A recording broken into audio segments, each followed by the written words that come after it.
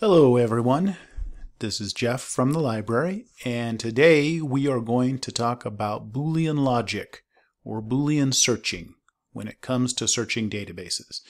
Now some of you who have done research papers and used library databases have found it's frustrating. Uh, the reason why in a lot of cases it doesn't work the way Google works, eh, it sort of does, but look at this scary stuff. It looks so scary, you may have seen this before.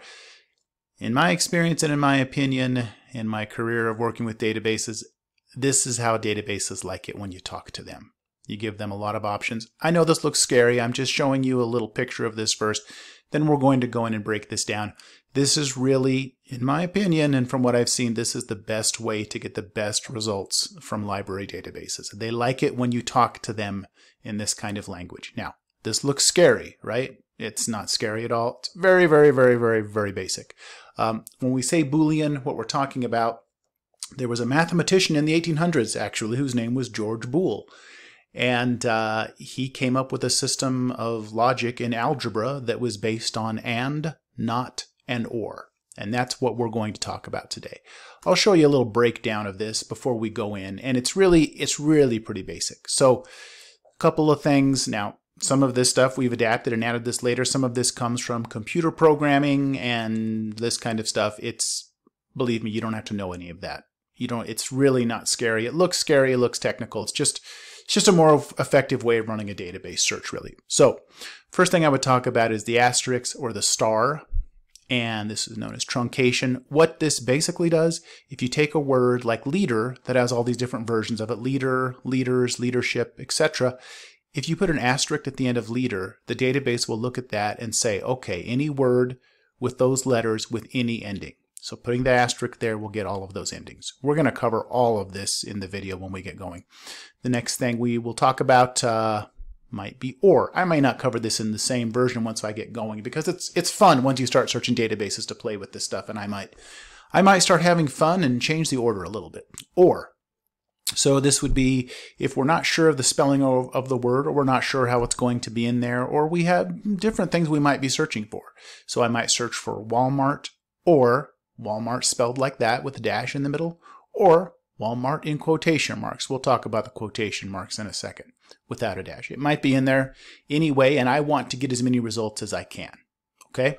Or maybe I'm doing a paper like I'll be looking at today on leadership. Search for leader with an asterisk, or manage with an asterisk, or supervise with an asterisk. I want any version of any of those words. Quotation marks, we want to get an exact phrase, okay? I want to look for mountain lion. If I don't put those quotation marks around it, what the database will search for, it'll search for articles that have mountain and lion in it. And I'm not looking for articles that talk about a lion that was sighted near a mountain. I want mountain lions, the kind of lions that we have in Colorado, where I live. Okay, very specific. Only bring me back the articles if these two words are exactly right together. Together, that will cut down a lot for you. And the last thing we'll look at is not. In most uh, searching library databases, you can change one of the boxes to not to say, okay, I'm looking for articles with leadership in the title, but I don't want articles on war or the military, which there probably will be some if we're talking about leadership. So I could eliminate, say not, and then I wouldn't see those in my search results. That can help a lot. And and is the most basic one, but we're not really going to talk about and. You'll notice and is added automatically between the boxes. And by default, if you don't change what you put in, and is understood by default to be between the words. So in most library databases, you don't need to type in and. I I rarely, if ever, use AND. So this is the one people always think of with Boolean. Anymore, AND is really not needed. You can put it in there, it's not going to hurt anything, but the database already by default is searching for that. All right, that's a quick intro. Let's get down to the fun. All right, now's where it gets fun. Let's use these in a search. I hope you're still with me. I know that was a lot of jargon and a lot of stuff. So if someone says Boolean logic, that's what they're talking about. We have been tasked by our class, we have an assignment to write a paper on leadership theories and how they affect business in the real world. Okay, so first thing I'm going to do, don't type in a sentence. Do not type this in. Leadership theories and how they affect business in the real No, don't do that. This is the biggest mistake you can make with a library database. Google might be able to search like that. Library databases will just say, huh? They might find something, but if you ran a search on that, you'd probably you'd find a few things, but it's really going to be unfocused. And uh, okay, two results. Wow. And see, I all the time students contact me and say, "Oh, I can't find anything." It doesn't. That's not how they work. Let's start this search over and let's do it the way that it really should work. Okay. Always type in things very simply into library databases. Okay. Here we go. Leadership. Just show me articles on leadership. Now, by the way, I have this set to just look at peer-reviewed articles. All right. Just going to look at leadership. Do a search here. Okay, this is what we want to see.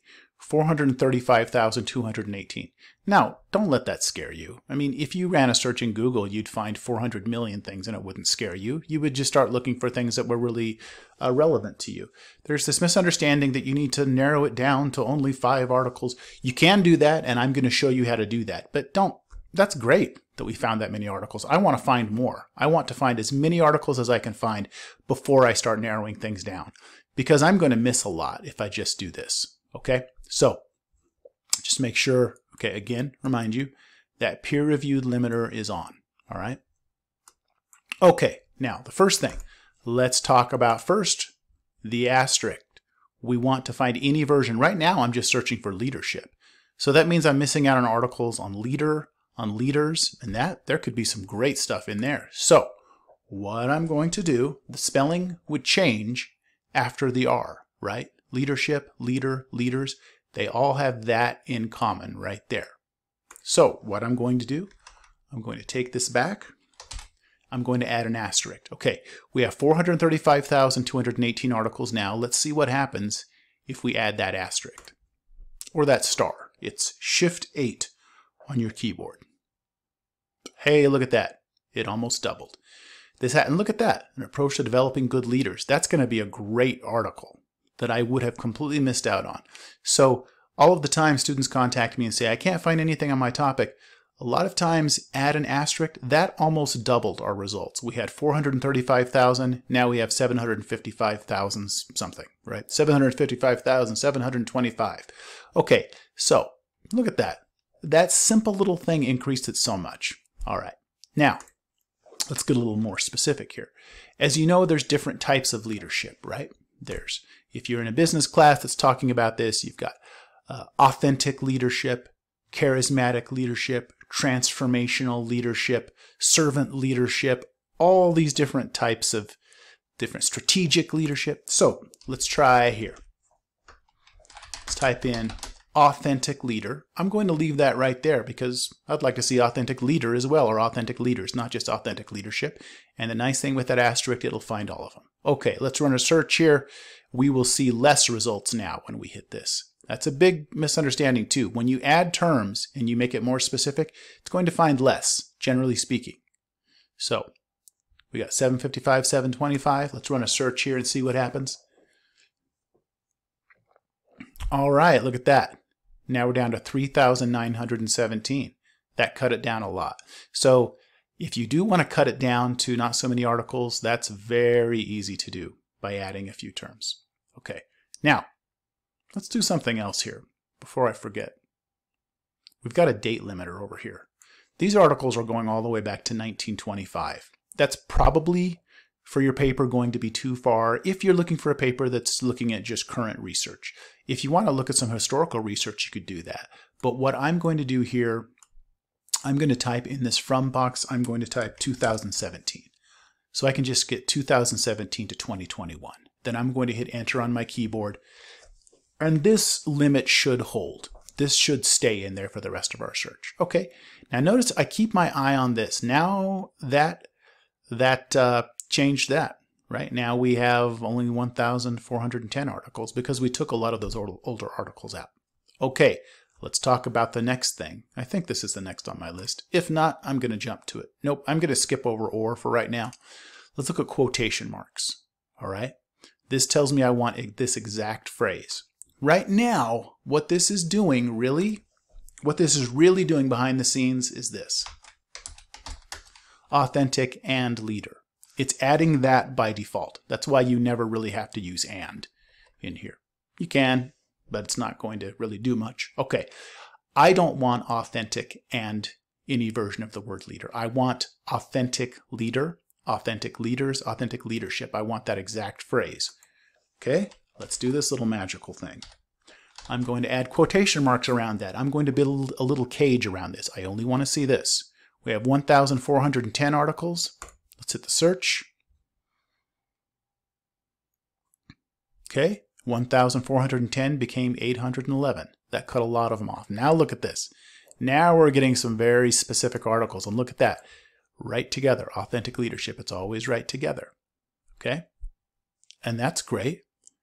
I wonder how many of those, here's another neat little limiter we could do, select a field. How many of these might have some version of authentic leader in the title?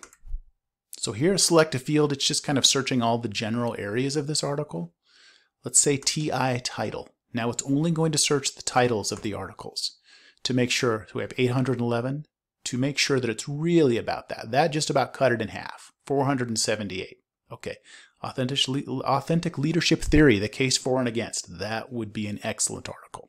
Okay, but I'm not sure what I want to write about right now because there's a lot of different styles of leadership. I might want to write about a different type of leadership. How about, here's where we're going to talk about or. Okay, I haven't really committed to authentic leadership. I want to see what's out there, and I would highly recommend before you commit to a topic, search around and see what's out there first, okay? So now I'm going to try the or. So I want authentic leadership. How about also charismatic leadership? Or, and you can see in my little thing there, I've already done this search before. Charismatic leader, I'm going to quiz you here. What should I put there to get every version of the word? I'm going to pause a second. Who knows the answer? That's right, asterisk. And I'm also going to put this in quotation marks. I want authentic leader or charismatic leader. Still has to be in the title. We have 478 articles.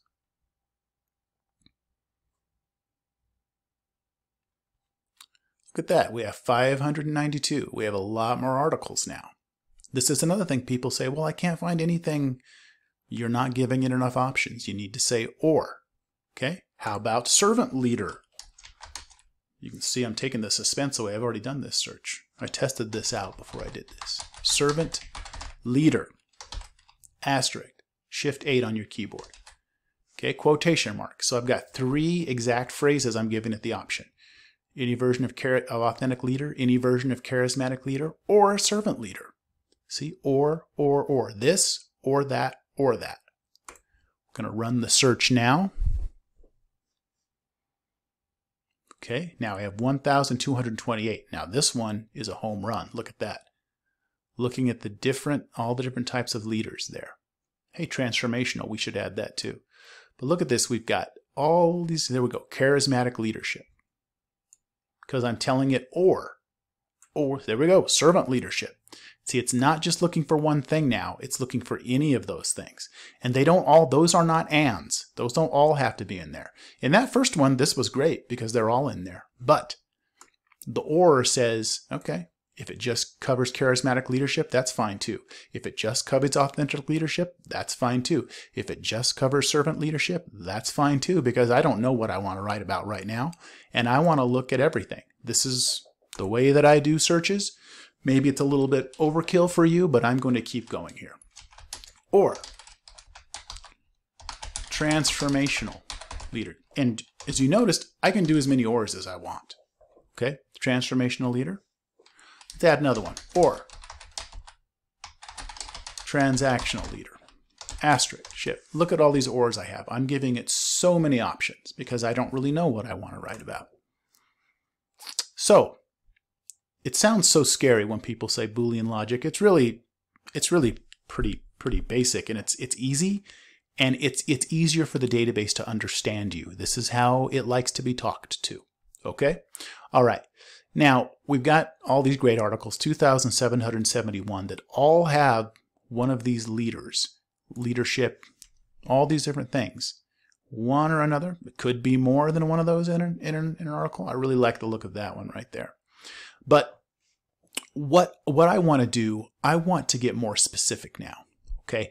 Because my my assignment is to write a paper to see what kind of effects these types of leadership have in the real world. Okay? Let's go here. Now I'm going to go to the second box. This is why we have more than one box here. Okay, this has all my leadership stuff here. When I write something new now, I don't want to mess this up. I've got this or that or that or that. When I go on to looking at the effects, that's a different topic now. And that's a really cool thing you can do that's hard to do in Google, for example. Now I can mix another search into this search. I can search within these articles. Okay, let me type this in. Effect. What kind of effect is this having? Okay, look at that. Now effect is coming up. That's nice. Now, what do you think I'm going? Now, I, what about effective? Effect, effective, affected. Well, actually, that's a different spelling. We'll get to that. Yes, I heard someone at the back of the room raise their hand and say this. Let's add an asterisk. Okay, we've got 1,227. Let's add an asterisk there. It's spinning its wheels. Look at that. I think it added about 300 to the search. So if you talk to the databases this way, it's really easy to find a lot of articles. The biggest problem is people are trying to talk to it just by typing in sentences. Do you see how easy this is? And I'm able, I'm basically commanding this database to bring me back what I want. Okay, so and just adding that asterisk added 300 articles I wasn't seeing before. Now, you probably know there's different spellings of that word effect. If, if something has an effect, if it's a noun, an effect has happened, it's spelled with an E. If it's going to affect something as a verb, it's going to affect something as a verb. I said that twice, I know because it's a really confusing thing. Then it's spelled with an A. I want to see those too. How is it going to affect an organization? Or affect, okay? And let's just let's just cut to the chase and put an asterisk there as well. I use asterisks all the time. We got 1501 here.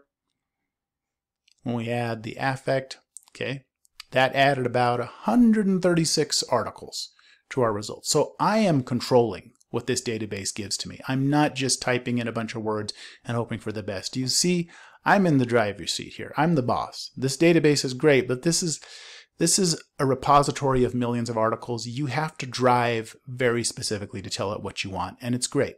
Now, I'm not sure what I want to write about now. There's a lot of other things I could put in here. Okay, and I can put in as many ors as I want. How about or performance? How does it how does it affect performance? We have 1637 and now we have 1820 that added about 200. Do you see how I am completely controlling what it gives me? Performance or outcome. Now you're probably saying, how come you're not adding asterisks? I could. I could, but at this point I have so many articles. I'm just having fun. I'm just having fun. Okay, how about engagement, employee engagement? And this one I am or engage. Engage, engaged, engagement. Show me those articles. It's going, okay, 1,989. This is great. Isn't this fun? See, I'm having fun with this. This is not a struggle with the database. If you know how to do this, it's fun. All right. I believe me, you try this, and I know you think, oh yeah, you're just saying that. It's actually pretty fun once you drive a database like this, it's like driving a car. If you know how to do it, it's pretty fun. It's, it's not scary. Okay. Engage. Okay. Or how about employee satisfaction? Now, yeah, I, I mean, we could do, if we wanted to do satisfied, satisfies, we could do an asterisk right there. I'm going to look for satisfaction. I'm kind of looking for like employee, maybe customer satisfaction and I just keep running these new searches and I keep I can do as many ors as I want in these boxes okay? Okay so this is looking great. I have over 2,000 articles. Let's put these now we could also limit this to subject but I usually if I have this many articles coming back I'm going to put this in the title. That's just kind of my go-to. It's the most specific way. So we got all these ors up here, all these ors, and it's really, you see how easy this is? It just, it just keeps evolving. My search is a living, evolving thing. Now we have 973, and look at these great articles. Job satisfaction and organizational commitment effect in the transformational leadership towards employee performance. Bingo. These are great. These are great. Effects of charismatic leadership and rewards and individual performance. This is really getting fun. All right. Now let's talk about the next thing. Let's talk about not. Let's say there's some things I don't want to see in my results. Okay. There are uh, there's a lot of publishing in the healthcare industry. There are a lot of peer-reviewed articles published in the healthcare industry, and that's great if that's what you're looking for. But maybe you're not really going to write about healthcare. This is for my search. Let's say I'm not really interested in that. There's if I was in a healthcare healthcare administration class, I certainly would be looking for it. But let's just say hypothetically I'm not.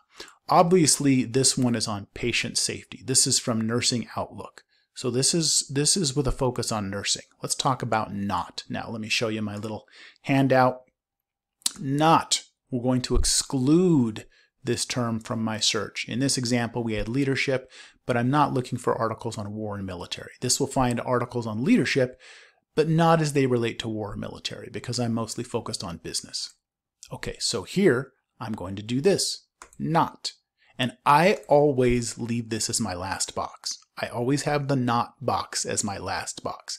I find it works much better. I don't put the not box in here and then try to add things. It seems to me, I could be wrong about this, but it seems to me it works best if the last box is the not box. Okay? So, not patient. We have 973. It's kind of fun to see how many it's going to remove. So now we're going to go the other way. Okay, it removed 37 articles from my search results that I'm not going to have to look at now. Okay, because I'm not really interested in articles on patients. Okay, now we can use or here, not this or this. Not patient or nursing. We have 940 articles. Take out the nursing articles. Let's see how many we get. 911. Okay, that took out, what was that? 29 articles. Okay, now, well, there's a lot of different versions of the word nursing. There's nurse, nurses, nursing.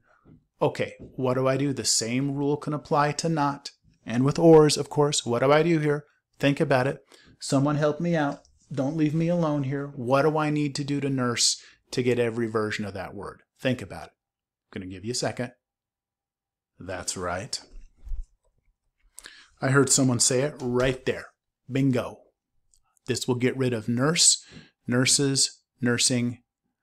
Okay, we have 911. It'll probably take out more now. And again, I'm going the opposite direction. I'm telling it what to take out of my search.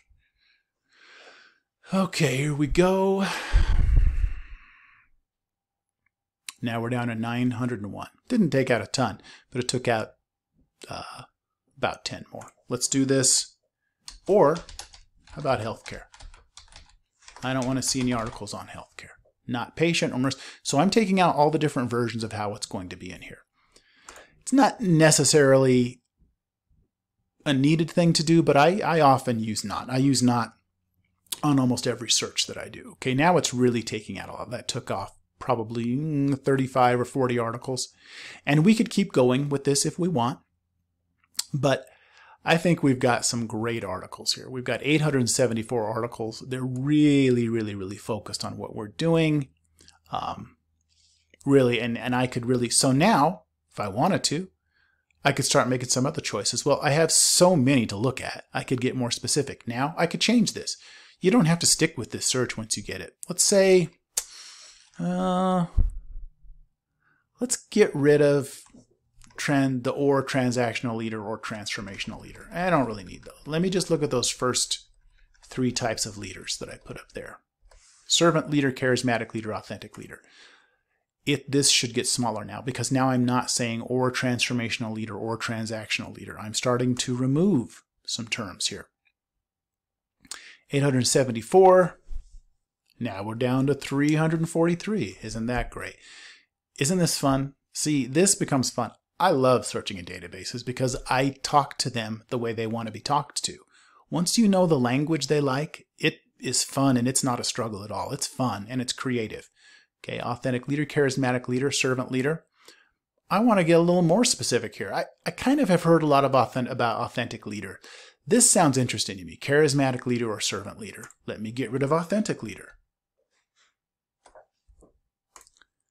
There we go. Let's see. It's kind of like a slot machine. 343 articles. Now we're down to 207 articles. I could do the thing, I could do the same thing up here. Let me get rid of, let's see. See, I have some. Let me get rid of all this stuff. Just show me charismatic leader as it relates to performance. Both in the title. Now we're down to 41 articles. So you can get as specific as you want, and at any point you can change your mind. Or outcome. You can change your mind, you can put things back in there.